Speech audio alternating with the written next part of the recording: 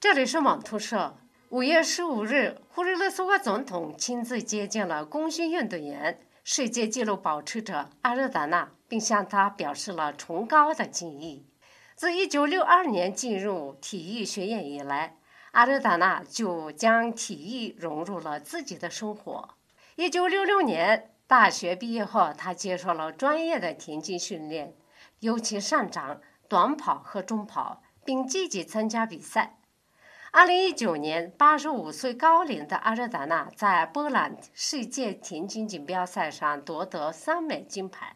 二零一九年，八十五岁高龄的阿热达纳在波兰世界田径锦标赛上夺得三枚金牌，成为首位创造这一纪录的蒙古人。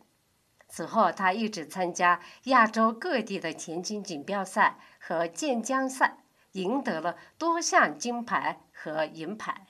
胡日勒苏瓦总统对尽管年事已高，但仍坚持体育锻炼，并把国家的声誉传播至世界各地的阿热达纳表示感激，并祝愿他未来更加成功。现年九十岁的阿热达纳正在为八月份在瑞典举行的世界锦标赛做准备。他每天早上跑步三到四公里。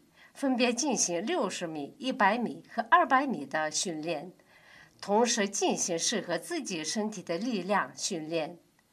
他坦言有时候运动过量。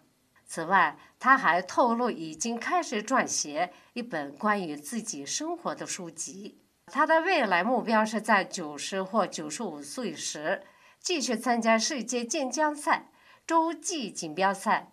并参加将于二零二八年举行的奥运会。